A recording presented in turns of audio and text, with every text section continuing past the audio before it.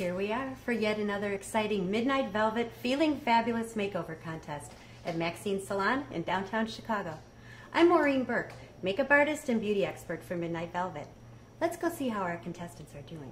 Oh, what do you mean easy? Other intro interview. Marker. My name is Heather Payne. I'm from Cincinnati, Ohio. My name is Vanessa, and I'm from Gilbert, South Carolina. Hey Vanessa, how are you doing today? Fine. Great. So I'm Brittany. I'm going to be cutting your hair today. What were you thinking you wanted to do with your length?